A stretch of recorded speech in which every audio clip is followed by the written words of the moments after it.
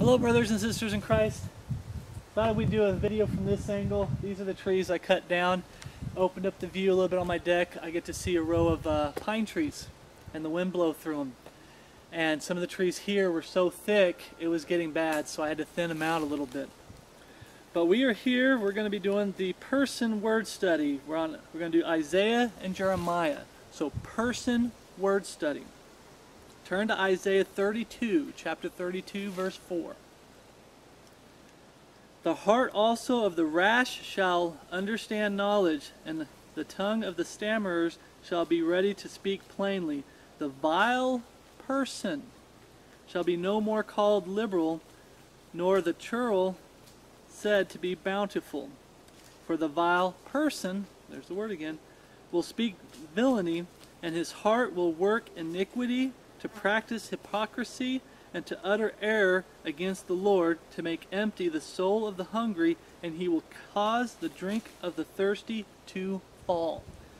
Now, real quick, I always try to reiterate in every study the reason I decided to do a word study on person is because of the Godhead versus the Trinity. The Trinity says there's God in three persons. Or, yeah. And the Godhead says that there's only one person, Jesus Christ. Person, by definition, so far in everything we've seen in the Bible, has to have a body and a soul. To be called a person, you have to have a body and a soul, and you have to be living. It's always a reference to something that's living, someone that's living. When a person's dead, they're not called a person when they're dead. Okay. So, we read there, vile person, for the vile person, both 5 and 6. Okay, for out of the abundance of the heart the mouth speaks. It says in verse 6, and his heart will work iniquity. Work. Okay, you can have iniquity in your heart. Uh, I did a study once. Um, God opened my eyes to say, why is can God hear the prayer of a lost person? Because they tried to take prayer out of salvation and saying, well, God doesn't hear people that are that are sinners, that aren't saved. Well, if um, King David in, in one of the Psalms said that if I hold iniquity in my heart, God will not hear me. What happens when you come to God in repentance and believing in the finished work of Jesus Christ on the cross? You're throwing those iniquities at the foot of the cross. They're no longer in your heart. Okay? So then when you pray and confess both in prayer and ask God to save you, he hears you because you're not holding that iniquity in your heart. So this heart will work iniquity. You can hold iniquity in your heart and the evidence of that is you're going to work it. It's physical. Okay, work iniquity. Practice hypocrisy. What's practicing hypocrisy? You're going around preaching hypocrisy. Body, soul, and spirit. If you have a body that's doing something other than just being buried and laying there, dead, it has to have a spirit. So, vile, morally based or impure, sinful, depraved by sin, wicked, hateful in the sight of God, and of a good man. Good men. That's what vile means when you're saying vile person. It's talking about somebody who has a body, soul, and spirit. Jeremiah 43, that's twice it's mentioned in Isaiah. So we're done with Isaiah.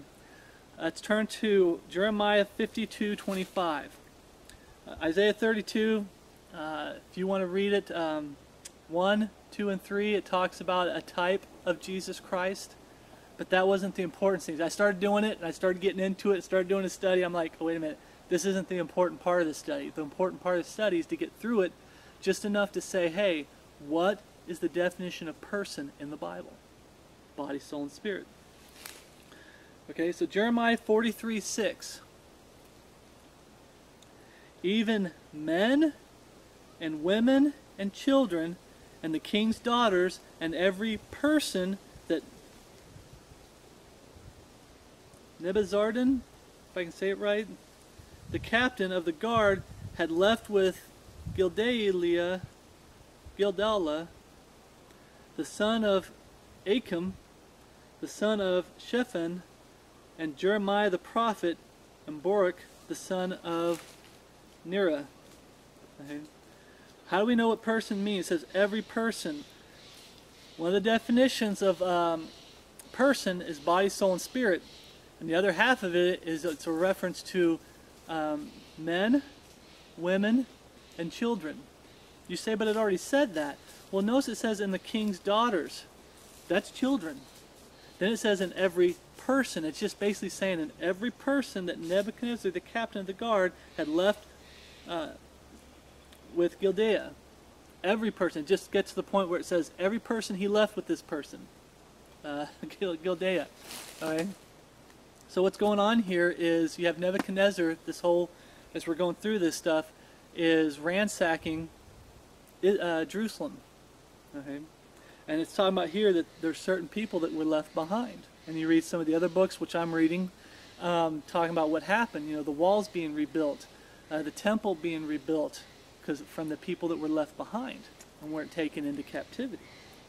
Okay, so we see person there as a reference to someone who has a body, soul, and spirit. A man has a body, soul, and spirit. A woman has a body, soul, and spirit. A child has a body, soul, and spirit as long as they're alive. And they are in this passage. Jeremiah 52, 25. Turn to Jeremiah 52, 25. He took also out of the city an eunuch, which had the charge of the men of war, and seven men of them that were near the king's person, this is important, which were found in the city, and the principal scribe of the host, who mustered the people of the land, and threescore men of the people of the land that were found in the midst of the city. Okay, this is what was taken. Okay. King's person. When you see king's person, it's saying that there's men that belong to the king. They're his. Okay? So the seven men here is what person is referring to. People will try to say, no, king's person.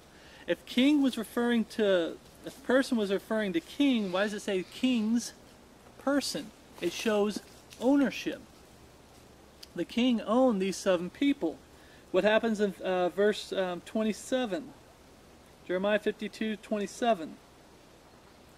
And the king of Babylon smote them and put them to death in Riblah in the land of Hamath. Thus Judah was carried away captive out of his own land. Killed him. You can only kill something, someone who has a body, soul, and spirit. Okay? That's the reference to it. Uh, Hebrews 1 3, the reason I said it's very important when it says king's person, it's talking about the seven people who belong to the king. They're his.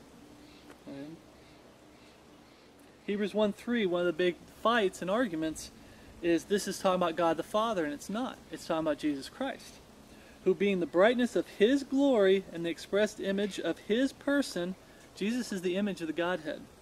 Okay, he's God's image. Okay, of his person, and upholding all things by the word of his power, when he had by himself purged our sins, sat down on the right hand of the majesty on high. It's Hebrews 1 3. Okay? His person is shown ownership. Okay? What's the ownership?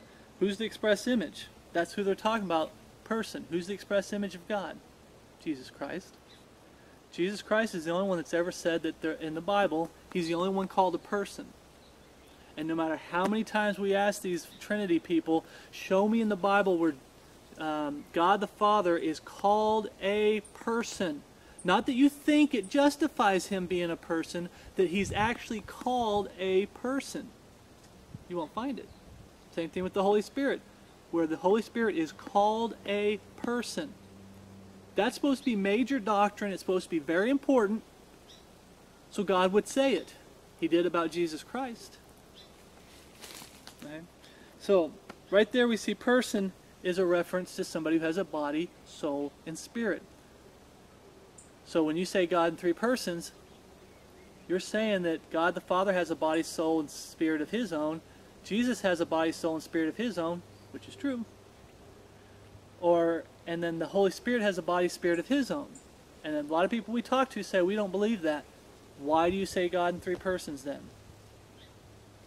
Blah, blah, blah, and it's like someone's, it's like they're mentally ill. They refuse and reject the true Godhead, the Jesus of Scripture.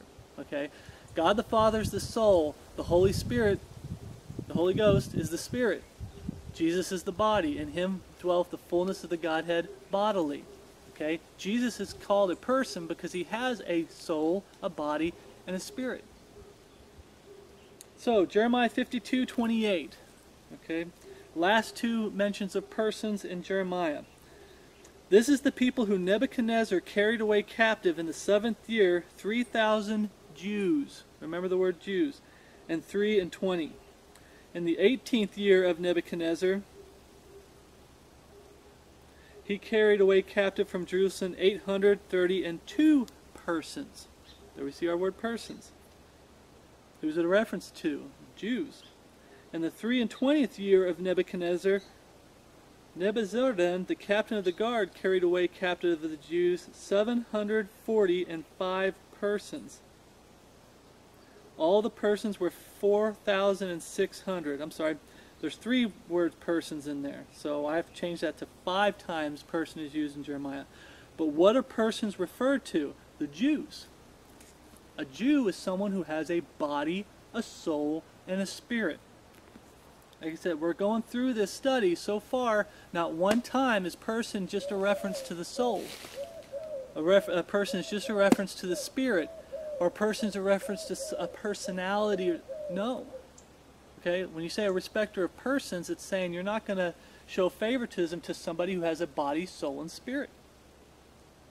Don't be fooled. Stop. Get that out of your vocabulary. If you truly believe in the Godhead, God the Father is the soul, Jesus is the body, and the Holy Ghost is the Spirit, and these three are one, one person,